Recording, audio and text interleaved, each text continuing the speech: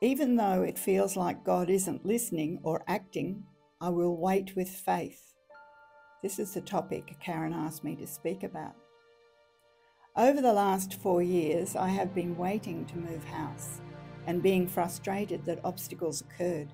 During this time, I examined my prayer life, Bible studies, service, and giving. The journey started in 2019 when I contacted Rosemount Retirement Village about moving to a particular style of unit. These units had all been sold in the first building, and the ones in the second had names on them. I added my name to the waiting list, and quickly a unit became available. Praise the Lord. COVID arrived in 2020, and Rosemount informed me that the construction had been put off indefinitely. In 2022, I was informed that certain unit styles had been changed, but that mine was the same and construction would start in June. All good so far, praise the Lord. At a meeting to pay the deposit, I was surrounded by large plans on the wall.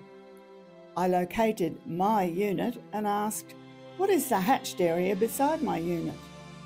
A gardening potting shed. What? I requested that the shed did not go ahead.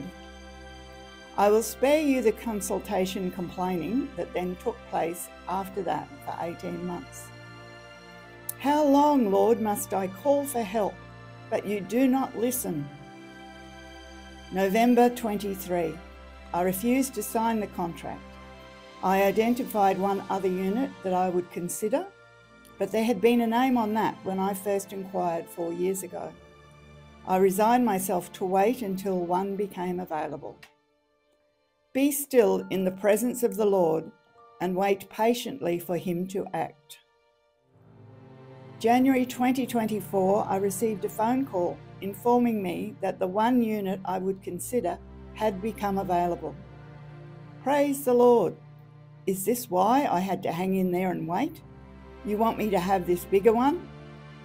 Oh, what do you want me to do with it? Thank you, Lord. I waited patiently for the Lord. He turned to me and heard my cry.